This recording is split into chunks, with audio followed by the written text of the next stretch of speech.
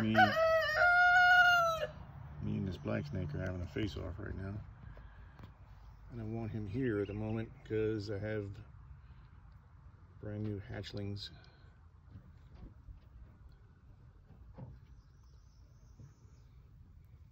Yep, you might want to go ahead and back up. That would be good.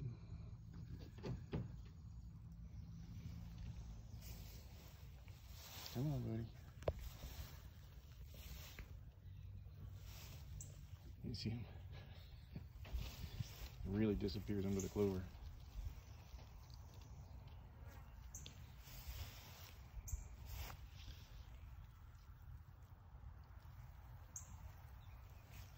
There he goes.